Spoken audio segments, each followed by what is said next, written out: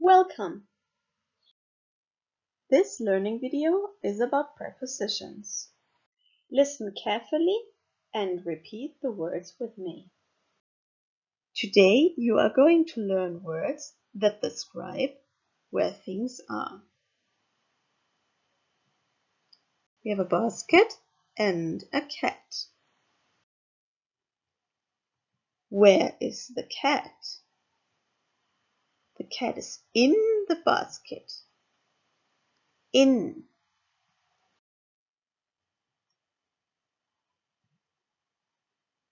The cat is in front of the basket.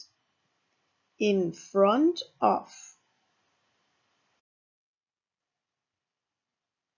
The cat is next to the basket. Next to. The cat is under the basket. Under.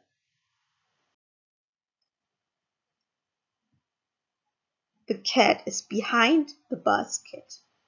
Behind. The cat is between the baskets. Between. Now let's have a look at the written words. The cat is in the basket. In. The cat is in front of the basket. In front of. The cat is next to the basket. Next to. The cat is under the basket. Under. The cat is behind the basket. Behind. The cat is between the baskets.